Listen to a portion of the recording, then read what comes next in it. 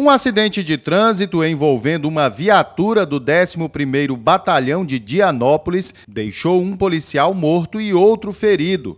O veículo se deslocava pela TO 040 entre as cidades de Almas e Porto Alegre do Tocantins quando capotou. O veículo ficou às margens da pista e foi estabilizado pelos bombeiros para evitar cair em uma ribanceira. O soldado Railan Souza Barbosa da Silva morreu no local.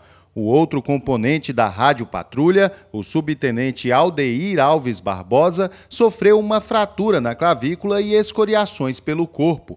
Ele foi socorrido ao hospital por outra viatura. Em um áudio compartilhado através das redes sociais, ele disse acreditar que o motorista da viatura tenha dormido na direção. Fala meus amigos, beleza? eu acabei de me envolver num acidente aqui de trânsito na viatura. E eu aparentemente estou bem, mas eu provavelmente eu quebrei a cavícula, mas meu motorista veio a óbito, entendeu? Aqui entre Porto Alegre e, e Alma, entendeu? Nós estávamos vindo almoçar e tudo indica que ele dormiu no volante, passou direto no curva, e a, a viatura capotou. E eu tava conversando com um colega no, no celular, bicho, eu não, quando eu vi o carro já tava saindo da pista e já capotando.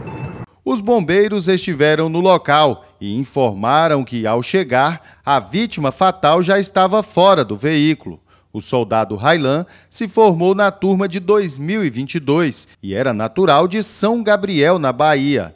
Ele não era casado e não tinha filhos. O comandante-geral da Polícia Militar do Tocantins lamentou a morte do membro da corporação através de uma nota. A Polícia Militar do Tocantins lamenta com profundo pesar o falecimento do soldado Railan Souza da Silva, de 27 anos, ocorrido nesta quarta-feira, em um trágico acidente na rodovia TO 040, no quilômetro 312, na zona rural da cidade de Porto Alegre do Tocantins, por volta das 12 horas e 40 minutos. O militar perdeu o controle da viatura do qual era motorista e saiu da pista e capotou. Infelizmente, veio a óbito ainda no local.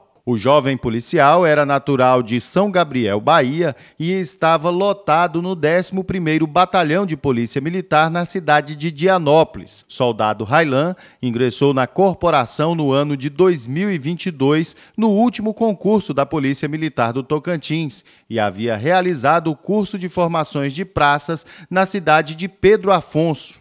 O policial militar não era casado e não tinha filhos.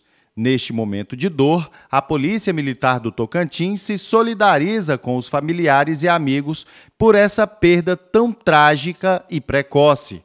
Coronel PM Márcio Antônio Barbosa, comandante-geral da Polícia Militar do Tocantins.